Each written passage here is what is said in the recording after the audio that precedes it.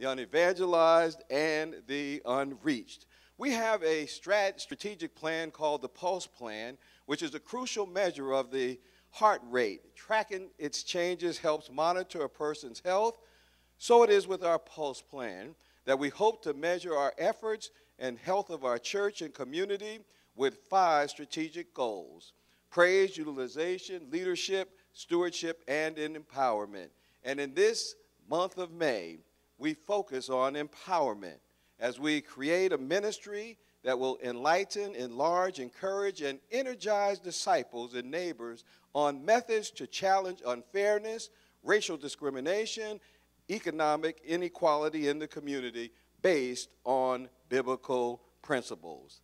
Amen. And as you remain on your feet, let us state together our church covenant.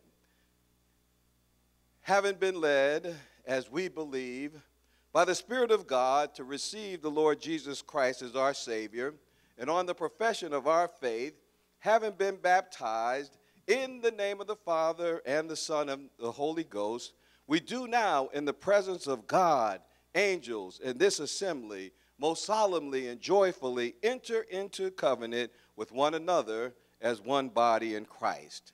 We engage, therefore, by the aid of the Holy Spirit, to walk together in Christian love to strive for the advancement of this church in knowledge, holiness, and comfort, to give it a place in our affections, prayers, and services above every organization of human origin, to sustain its worship, ordinances, discipline, and doctrine, to contribute cheerfully and regularly uh, to the, as God has prospered us, towards its expenses, for the support of a faithful and evangelical ministry among us, the relief of the poor, and the spread of the gospel throughout the world. In case of difference of opinion in the church, we will strive to avoid a contentious spirit, and if we cannot unanimously agree, we will cheerfully recognize the right of the majority to govern. We also engage to maintain family and secret devotion, to study diligently the Word of God, to religiously educate our children, and to seek the salvation of our kindred and acquaintance to walk circumspectly in the world, to be kind and just to those in our employ, and faithful in the service we promise others, endeavoring in the purity of heart and goodwill towards all men to exemplify and commend our holy faith. We further engage to watch over, to pray for, to exhort and stir up each other unto every good word and work, to guard each other's reputation not needlessly exposing the infirmities of others, to participate in each other's joys, and with tender sympathy bear one another's burdens and sorrows, to cultivate Christian courtesy, to be slow to take or give offense, but always ready for reconciliation, being mindful of the rules of our Savior in the 18th chapter of Matthew to secure it without delay. And through life, amid evil report and good report, to seek to live to the glory of God who hath called us out of darkness into his marvelous light. When we remove from this place, we engage as soon as possible to unite with some other church where we can carry out the spirit of this covenant and the principles of God's word. Amen. And you may be seated.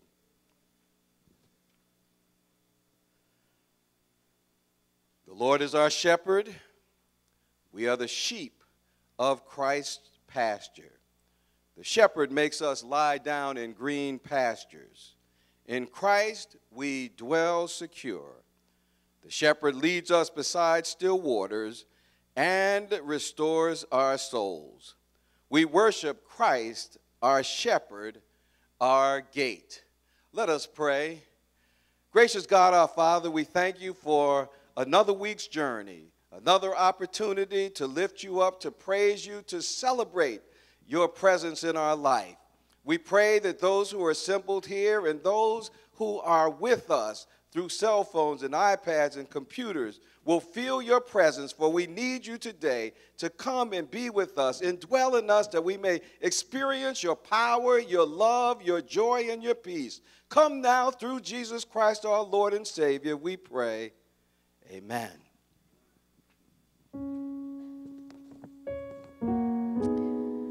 Praise the Lord and good morning, Mount Moriah. Wherever you are at home, right here in the sanctuary with us, please rise on your feet or even just sing in your seats. Because He lives, we can face tomorrow. Where you are, you ought to say hallelujah to that.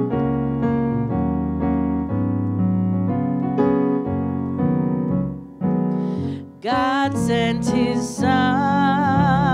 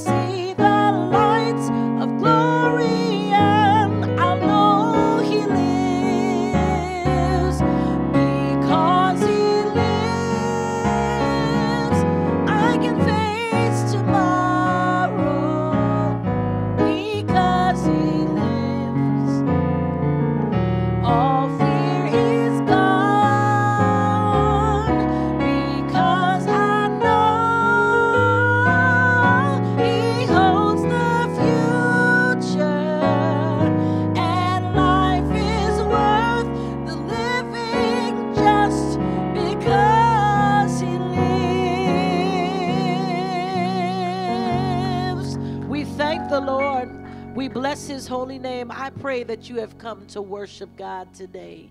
Simple song that we know it simply says, God, here we are to worship.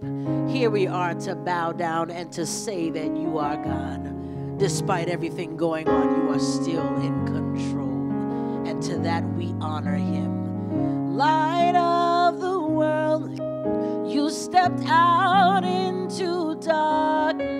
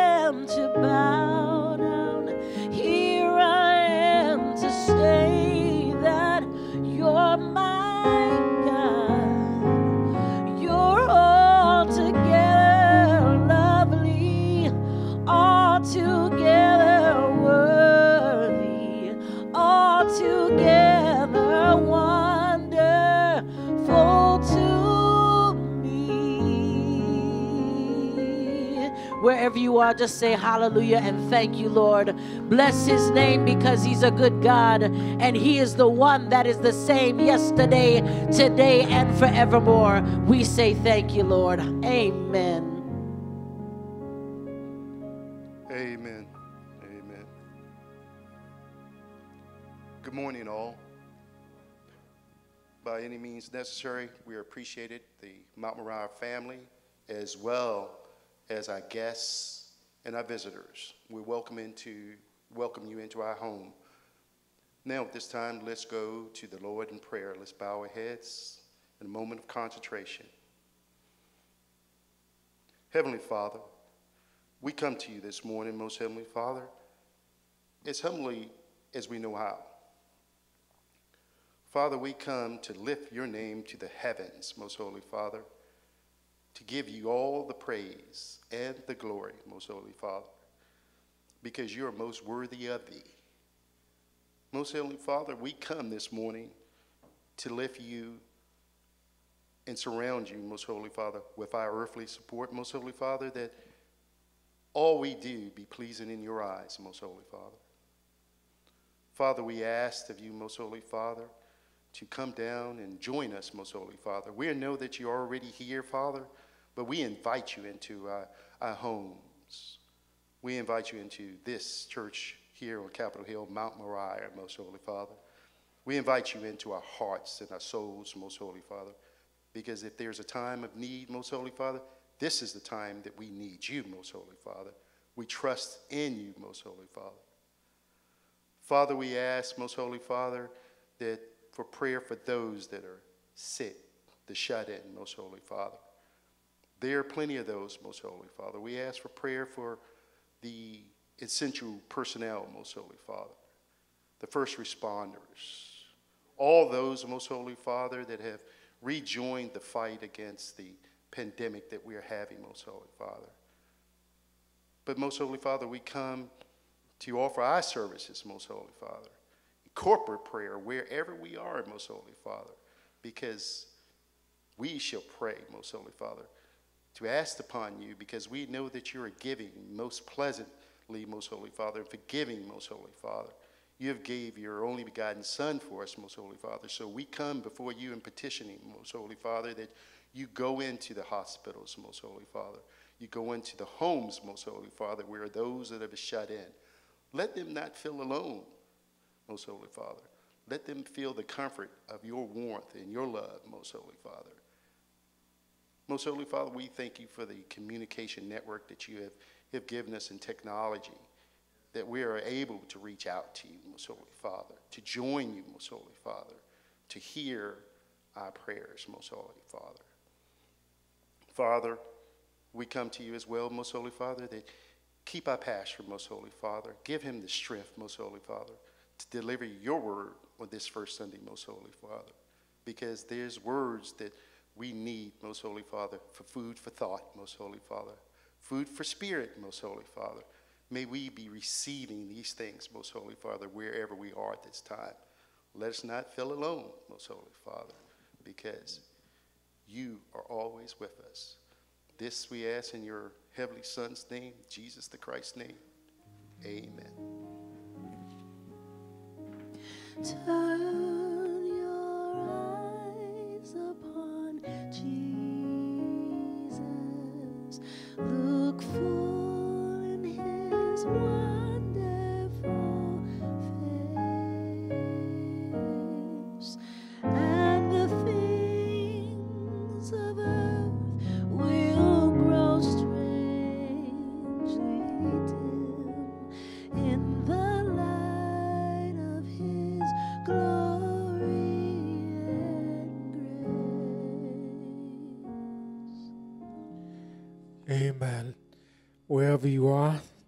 let the church say amen. Amen. Let the church say amen again. We thank God and we praise God for worship on today. And we thank God for you participating in worship wherever you are. You might be in your cars, you may be in your living rooms, your dining rooms, or even in your bedrooms.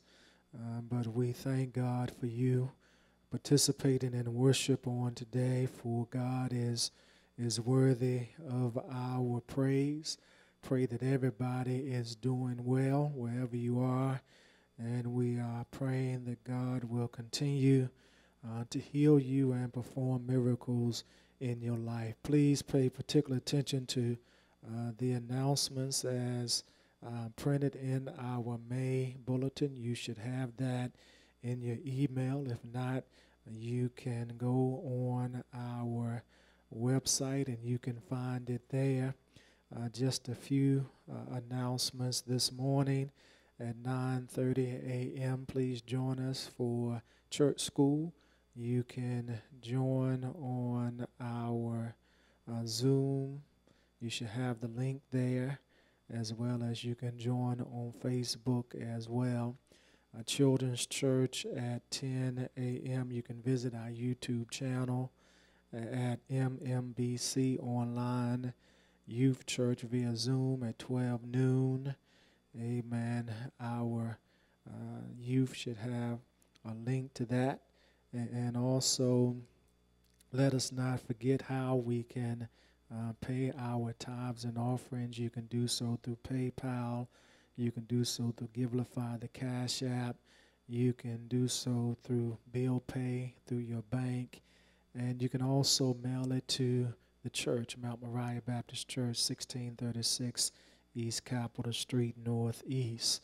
Uh, this morning, uh, when I went upstairs and, and placed your envelopes in, in the safe, I noticed that one of our disciples had just taken uh, his or her offering envelope, sealed it up, and put a stamp on it. Well, it made sense to me um, because the address is on the envelope. Amen. So if that's what you want to do, if you just want to stick, amen, a stamp on your offering envelope, it already has the address. You can you can send it to us. Let us not forget we have team with Serve the City DC. It is a nonprofit organization in which we are in partnership with them collecting um, canned foods and other non-perishables as well as frozen food uh, so that we can help uh, to supply those who are the most vulnerable during this time with food and other uh, items that they might need. If you want to participate while you're dropping off your offerings, you can drop off food as well uh, to help us in this endeavor. We'll serve your city, DC. You can drop off today from 9:30 to 11, on tomorrow from 2 p.m. to 4 p.m., and then on Tuesday from 4 p.m. to 6 p.m., and also um, for Serve the City on Wednesday um, from 11 to 3. So hopefully and prayerfully you are getting all of that information. Let us continue to pray for one another. Amen. That God will continue uh, to keep us safe during this um, pandemic. Let us prepare our hearts and our minds now for the lifting of our morning offering. The Bible says that God does love a cheerful giver. Let us pray. Father, we do thank you and we do praise you for this opportunity to come and to give unto you what is already yours. Bless us as we give on today, and we pray that our gifts be pleasing in your sight. In the name of the Christ, we pray and give thanks. Amen. While you are in your homes, you can uh, go to uh, the internet, whatever device you have, and you can at this time pay through PayPal, Givelify, the Cash App, or if you uh, want to, you can write a check uh, to Mount Moriah Baptist Church, or you can pay through your bank, and you can drop off also on today from 9.30 to 11 monday from 2 p.m to 4 p.m tuesday from 4 to 6 p.m so as you are uh, doing that we pray that you will be cheerful in your giving. Again as you are writing your checks as you are online uh, please do so at this time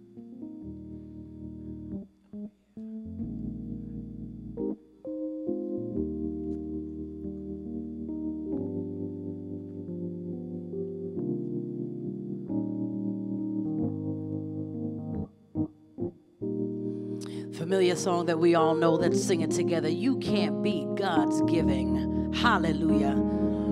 Oh,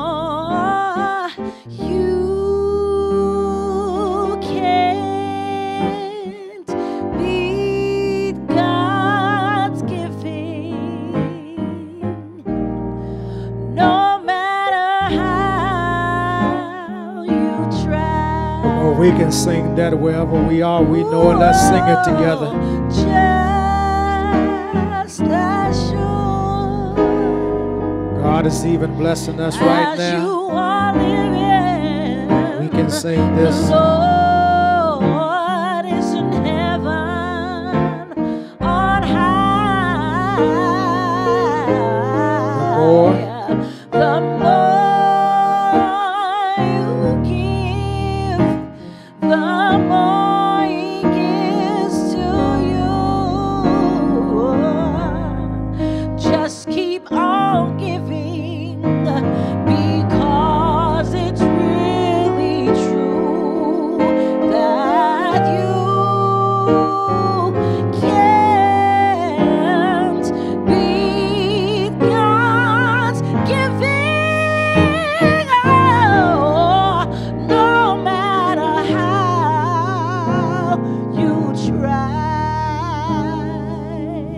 Amen. Wherever you are, let us stand for our doxology.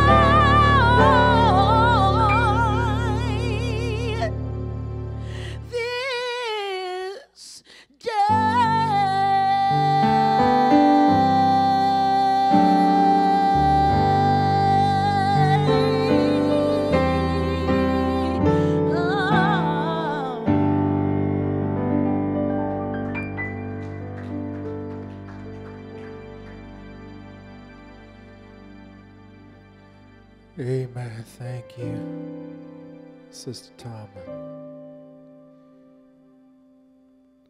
Let us pray. Father, we thank you and we praise you for who you are, for what you are doing in our lives even right now. We proclaim that we need you and we need your word. Your word is a lamp unto our feet and a light unto our path. Wherever we are, we ask and pray that you would open our hearts and our minds to receive your word on this morning. Come, Holy Spirit, and have thine own way. In the name of the Christ, we pray and give thanks. Let the people of God say, Amen.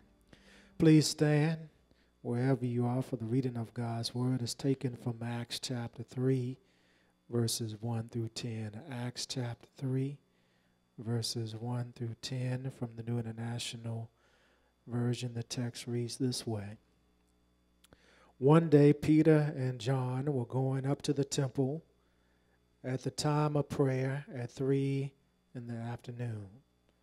Now, a man crippled from birth was carried to the temple gate called Beautiful, where he was put every day to beg from those going into the temple courts. When he saw Peter and John about to enter, he asked them for money. Peter looked straight at him, as did John. Then Peter said, Look at us.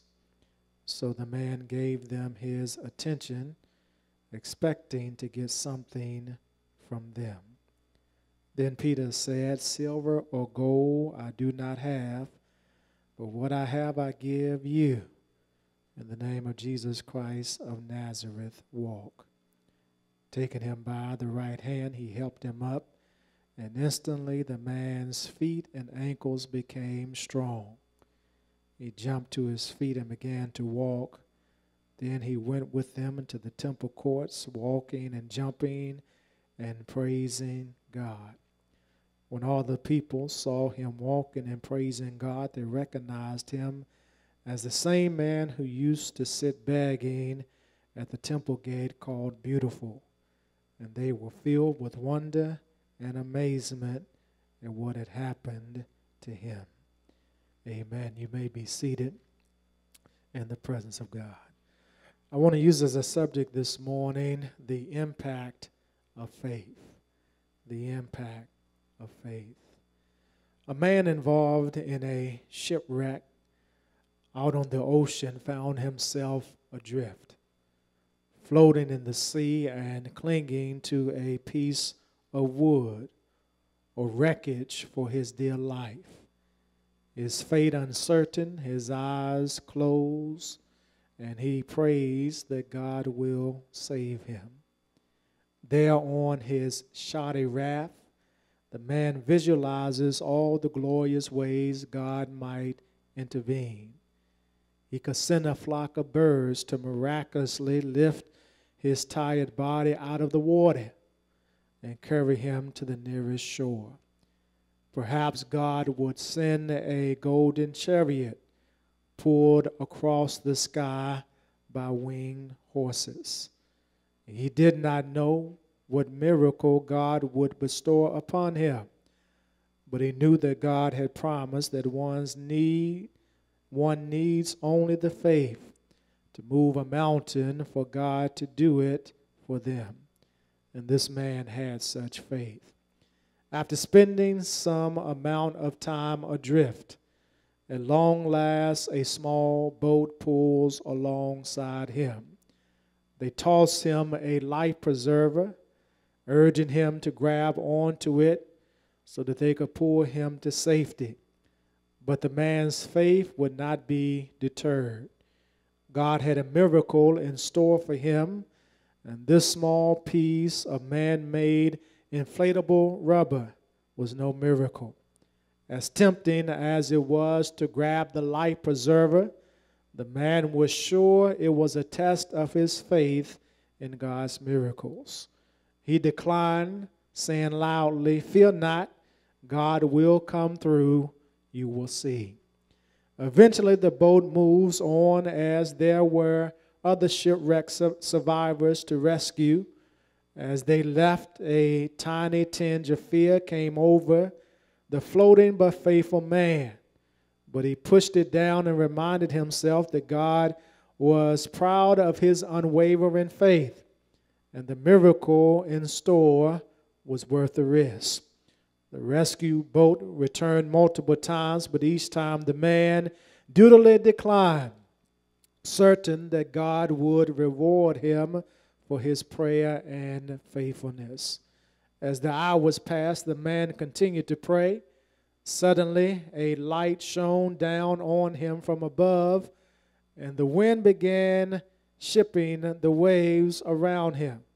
Had his miracle arrived? After a moment, it became clear that this was not God's work.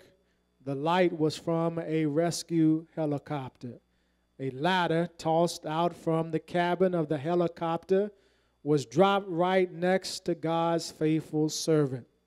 The man smiled, looked skywardly, and as loud as he could, yelled toward the well meaning rescuers I'll wait for God's intervention.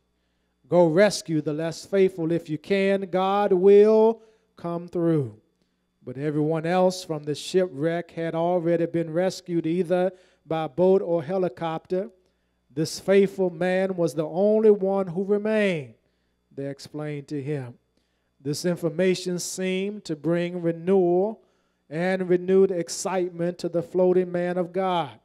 Again, smiling, more certain than ever, he assured them that what God had in store must be glorious. While others had chosen to trust in man, he had chosen to trust in God. And when others saw his reward, it would bring them faith as well. How honored he felt to be used as a miracle for the expansion of God's kingdom. It was thus quite a surprise to the man that he was promptly devoured by sharks in the infested area of the ocean where he had piously remained adrift. Upon entering the afterlife, he quickly made his way to where people in heaven speak directly to God, which we will assume is some sort of large house with a walkway made of gold bricks leading to his entrance. He fell to his knees upon being in the presence of the Lord, thanking God for allowing him into his kingdom. But he did have a question about his demise. Why, Lord? Why didn't you rescue me? I was faithful. I believed your miracles would save me. Why was my faith unrewarded? Why didn't you come through for me? God's booming voice came down on the man, and God said, Verily, I sent you a boat no less than three times, and sent you a helicopter with a ladder. What part of rescuing you were you not comprehending? The point of the story is that God does bring the faithful to safety. God may not bring us as the faithful to safety the way in which we would like God to do so, but God does bring the faithful to safety. God does answer our prayers, but not in the ways we always wish. In our text for preachment today, we see the faithfulness of Jesus' apostles, Peter and John. They, in our text, were portrayed or are portrayed as devout Jews going to the temple daily for prayers. We all know that prayer always introduces the occasion of a miracle to come. If you want a miracle in your life, and during this time, all of us are in need of some, you pray. Faith tells us and teaches us that prayer is always the occasion for a miracle to come. Faith says, A miracle is coming my way. Peter and John were going up to the highest height in Jerusalem. They were going to the temple for afternoon prayer. This was the time when all devout Jews would pause to pray or go to the temple to pray. There was a crippled man from birth, crippled from his mother's womb. This crippled man, crippled from his mother's womb, was being carried to the temple gate called Beautiful. He was put there every day to beg from those going into the temple courts. This at first appeared to be a hopeless situation, but the word beautiful alludes us to the fact that something miraculous is about to happen. Josephus reminds us that this beautiful gate is not mentioned in Jewish descriptions of the Jerusalem temple and its gates. We know of the Shushan gate, the Nicanor gate, also called the Corinthian or the bronze gate according to Josephus, but nothing known of this beautiful gate. Some scholars believe that it is called the beautiful gate because of what was going to happen to this crippled man in the name of Jesus. Many believe that it was a a, it was called blue beautiful because it symbolized a change that was about to come in this crippled man's life. I want to suggest to you that faith does the same. Faith does what we call the beautiful. Faith in Christ symbolizes a change is about to come in our lives. What type of impact does faith have upon your life? First, faith moves you and I from brokenness to repair.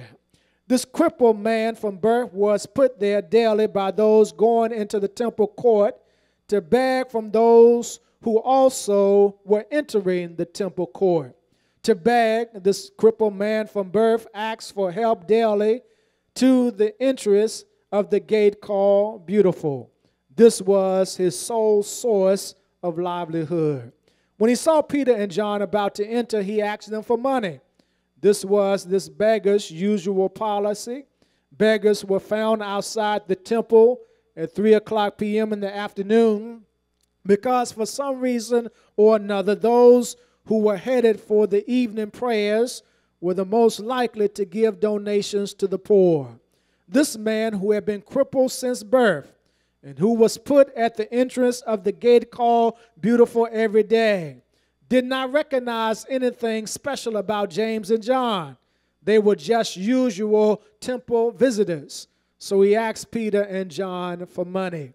Peter and John together looked intently at this man right straight in his eyes. Peter said to him, Look at us. Peter called for the attention of this beggar who was accustomed to being turned down or neglected. Peter wanted to make this meeting, this miracle, something personal for the beggar. The beggar gave his attention expecting something from them. His obedience to Peter's demand was part of his business savvy. He wanted money from them. This beggar will get something from them, but it will be something far different than what he expected. The beggar became attentive. Peter said to him, Silver or gold I do not have, but what I have I give to you.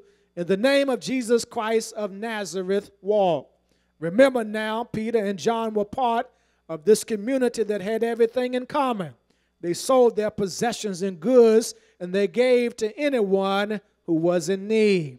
So Peter and John did not have silver nor gold. What they had monetarily was now the shared property of the community of believers. Not having silver or gold must have been disappointing to the beggar. But the invoking of in Jesus' name lets us know that something is about to happen simply because there is power in the name of Jesus. Invoking the name of Jesus places Jesus' power and authority into operation. Peter saw this man as a broken individual who was in need of repair. This is the predicament of each and every one of us who are watching and listening to this sermon on today. We are broken individuals who are in need of repair. And our faith tells us that the only one who can repair us is this Jesus Christ of Nazareth. There's always been and will always be this relationship between Christian faith and disease. The first works of the Holy Spirit in the Christian church was the healing of the sick. This battle with sickness and disease exempts no one. If we live long enough, we will get sick and we will have to fight disease. Some people have been dealing with them all of their lives chronic ailments, handicaps that are permanent, along with disabilities. There are at least three types of views when it comes to the Christian and disease. The first view says that religion plays the ultimate part in disease. God is good, that disease is bad. Therefore, God cannot make and did not make disease. Disease has no legitimate part in God's universe and therefore is not reality. Man makes disease with his impure and imperfect thinking. This view says that the doctors have no place at all for disease and that disease can only be fought with spiritual weapons. The second view is are the extreme. This view believes that religion plays no part in the battle against disease. The Christian may pray, but religion plays no direct part in the battle against disease. The third view we see clearly in the New Testament and in the book of Acts. This includes the acts of Jesus. Jesus, without dispute, made people well. We see Jesus performing miracles in the New Testament. Jesus healed persons before he made them whole. In other words, Jesus healed them and they followed Jesus. During Jesus' time on earth, he did heal the sick. I just wanted you to think about these three views about Christianity and disease. Let me share with you what my Christian faith tells me about disease. Faith in Christ plays the ultimate role in one's battle against disease. Yes, God is good. Diseases such as the coronavirus is bad. Disease is the result of the sins of humanity. Doctors do have a place in disease. When sick, my faith tells me that I do need to pray. Along with my prayers, I do want a doctor because I believe that God works through doctors. However, my faith also tells me that Jesus Christ performs the miracles. He can heal disease. Sometimes he does, and sometimes he does not. God can choose because God is sovereign. However, God never gives us more than we can bear. My faith also tells me that just as Jesus healed of disease in the Bible, he is still healing of disease on today. We are all broken people who are in need of repair.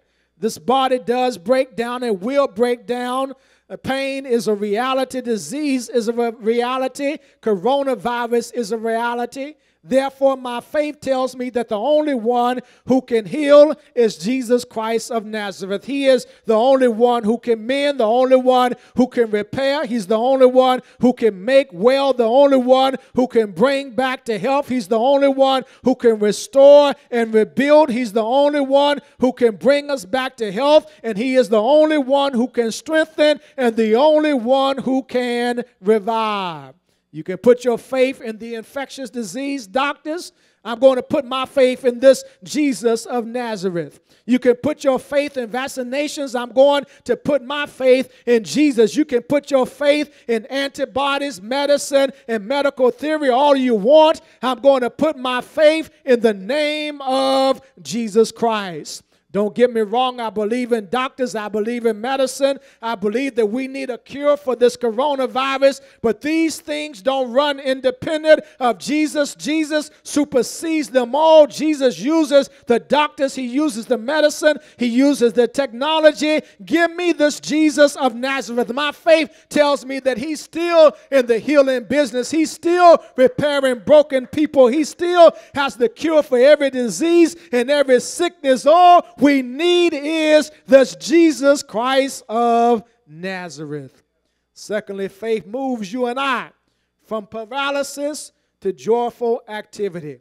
Peter said to this crippled man, Silver or gold I do not have, but what I have I give you in the name of Jesus Christ of Nazareth. Walk. Peter takes him by the right hand, helped him up, and instantly the man's feet and ankles became strong. He jumped to his feet and began to walk. They were strengthened not by Peter and John, but by God. The reality that healing has happened is confirmed. The right hand that has been stretched out in expectation of someone giving him something to survive on was the same right hand he extended to help him up, to help him feel the sensation in his legs that gave him the confidence to do something he had never done before, and that was walk. This miracle takes place immediately. This exactly this is exactly what faith does. Faith moves us from paralysis to joyful activity. Paralysis is anything that keeps you from moving, anything that renders you unable to think or act normally, anything that causes fear or panic, that disables you or immobilizes you. Anything that brings you to a standstill, that cripples you or freezes you or stops you, anything that petrifies you or transfixes you, which includes the pandemic that we are facing today. Some people right now are paralyzed by the fear of this virus, and rightfully so. Fearful to go out of the house, to the grocery store, the fear of contracting the disease, of loved ones getting and dying from the disease of not wearing a mask and those who are not doing the same. All of us are fearful and facing anxiety on today. But this Jesus of Nazareth is able to move us from paralysis to joyful activity. He's able to do the, the impossible. He's able to perform miracles. He's able to make the sick well. He's able to make the mute talk, the lame walk, the deaf hear, and the blind see. He's able to cure those of the coronavirus. He's able to make persons, to take persons off of ventilators. He's able to reactivate, to make alive. He's able to reassure. He's able to calm and comfort and soothe and to please. He's able to restore joy and happiness. I'm crazy enough to believe that it won't be long now before we will be able to go back to our interests, to go back to work, to enjoy our pastimes, to engage in our leisure interests, to indulge in our habits, to be back at the hustle and bustle of what we call the DMV. This Jesus Christ of Nazareth is able to cure us instantly, immediately, in the blink of an eye. Faith in this Jesus of Nazareth helps us up immediately. Faith in this Jesus of Nazareth enables us to walk when we could not previously do so. Your faith in this Jesus Christ of Nazareth restores the joy of your salvation. Thirdly, your faith in this Jesus Christ of Nazareth turns your situation from begging to praising God. I won't stay here long. This man who had been crippled all of his life can now walk. He did something else he had never done before. He went with Peter and John into the temple courts to pray. For the first time in his life, he was able to walk into the temple to pray. He went into the temple walking and jumping and praising God. This Jesus of Nazareth moved him from begging to praising God. You see, when this Jesus of Nazareth performs a miracle in our lives, praise should be our first action. Nobody did it but Jesus. All honor and glory and majesty and dominion belongs to God. It was this Jesus of Nazareth who performed the miracle. It was not the doctors nor the medicine, not even ourselves. It was God. So we praise God and we honor God. We adore God and we exalt God for what God has done in our lives. Praise be to God for the miracles that God has performed, is performing right now, and will perform in the future. Glory be to our God. God. Lastly, our faith not only impacts you, but our faith impacts everyone. When the people inside the temple saw this man walking, jumping, and praising God, they recognized him immediately. They recognized him as the same man who used to sit begging at the temple gate called Beautiful. Listen to what Luke the writer says next. And they were filled with wonder and amazement at what had happened to him. This miracle not only impacted the beggar, but also those who lived in the city who had come to worship on that day. You see, your miracle is not just for you. Your miracle not only impacts you, but your miracle impacts everyone else. Your miracle is also for someone else.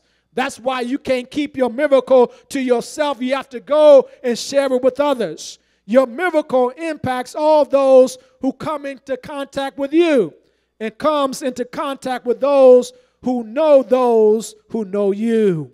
The world must be able to point to signs of healing power at work in our midst on today. There must be some evidence for the world to see. Yes, this Jesus of Nazareth healed you. What a tremendous impact upon your life. But the impact does not stop here.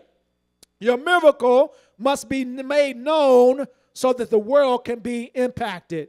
To give evidence to the world that this Jesus of Nazareth is still performing miracles on today.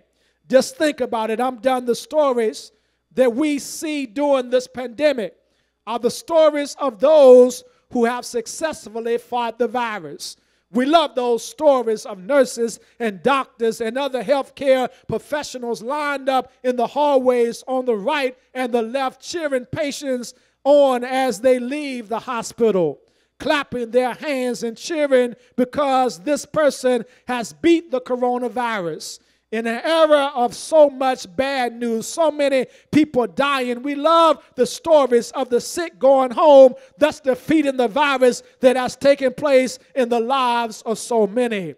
Miracles such as these encourage us, they strengthen us, they give us hope, they give us joy, they give us light. Miracles not only impact us, but they also impact others. Your miracle is the visible evidence of the presence of our Lord and Savior Jesus Christ. Your miracle is the visible manifestation that this Jesus Christ of Nazareth is in our world today. Your miracle is a witness to the fact that Jesus Christ of Nazareth is Lord and Savior of the world. I'm like the songwriter who says, I know the Lord will make a way. He will make a way for me and for you. He will open doors that I'm not able to. I know the Lord will make a way.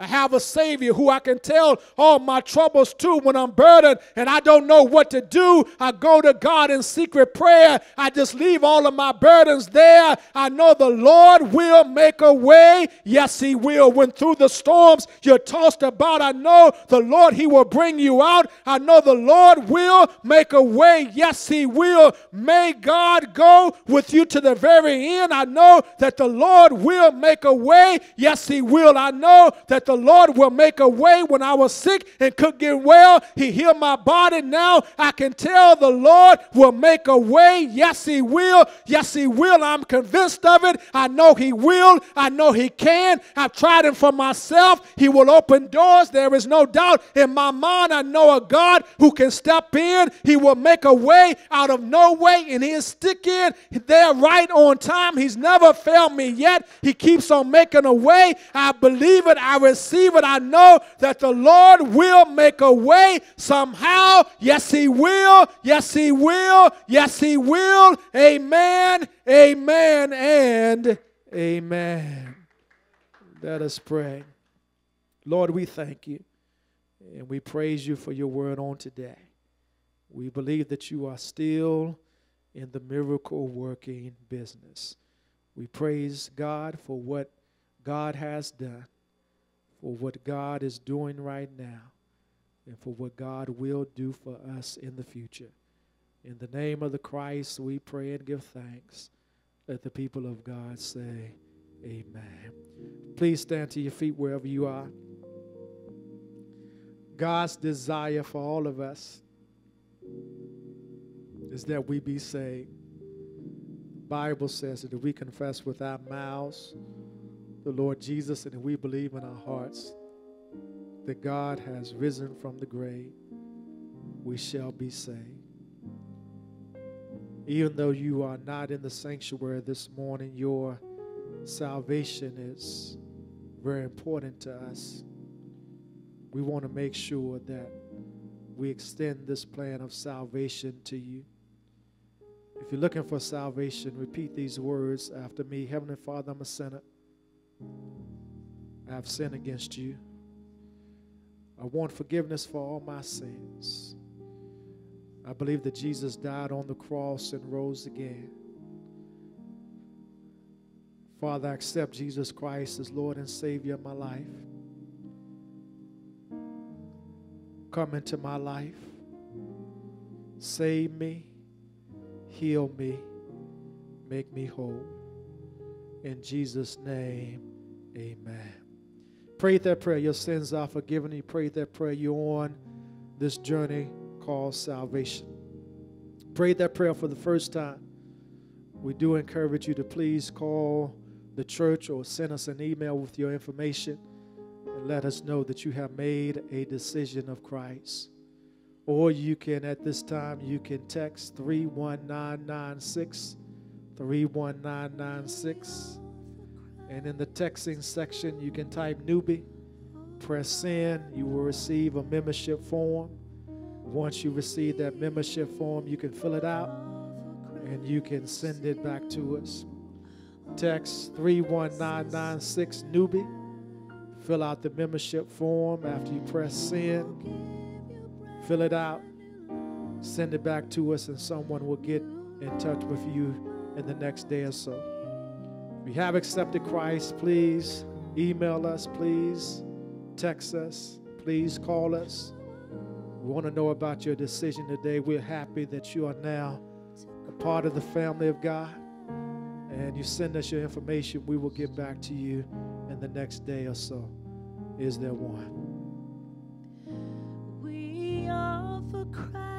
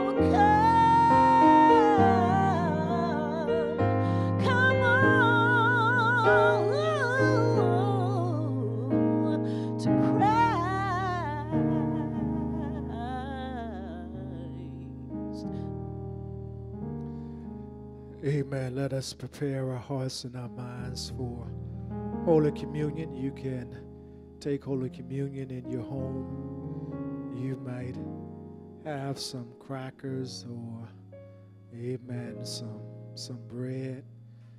Amen. Some made their communion bread on last first Sunday. If you have some cranberry juice or some grape juice, or as they used to do in the old church, you can use red wine as well. If you don't have those elements, you can use cookies or something to that extent, or, amen, some other type of juice. I've seen that done in other parts of the world. It's not necessarily the elements, but is what the elements represent. So we, as we serve communion in the sanctuary, we will give you the opportunity to pre- prepare those items if you have not already done so. Let us pray. Lord, we thank you and we praise you for communion. We thank you and we praise you for the forgiveness of sins. Forgive us of our sins and our shortcomings, not only against you, but against one another. We thank you for this time of communion and bless the elements that we are using in order to participate in communion on today. We look forward to that time in which we can come back into the sanctuary to participate in communion as the people of God. In the name of the Christ, we pray and give thanks. Amen.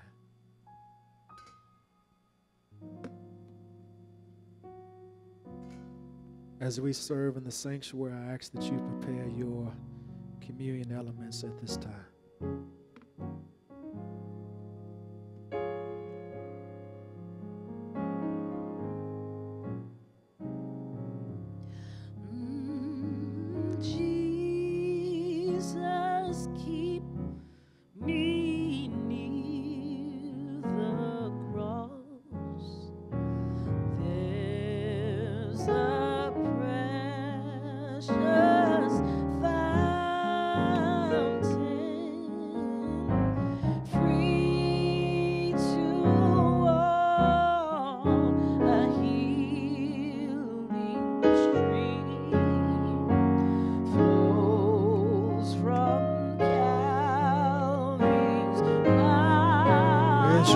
Prepare your communion, let us sing this.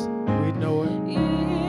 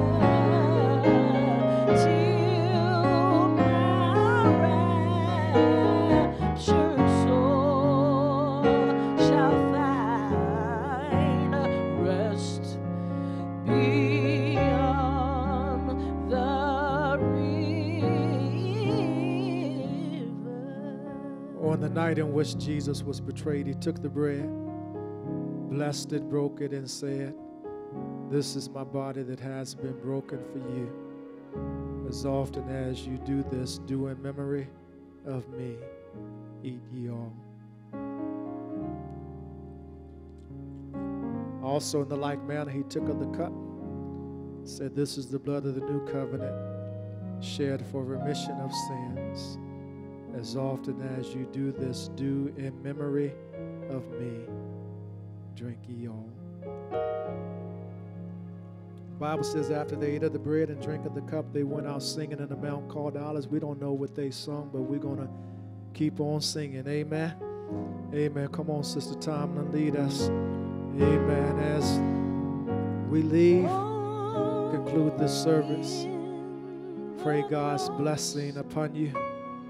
Pray that you will do the things that are necessary in order to stay safe. Continue to place your faith in Jesus Christ. God bless you.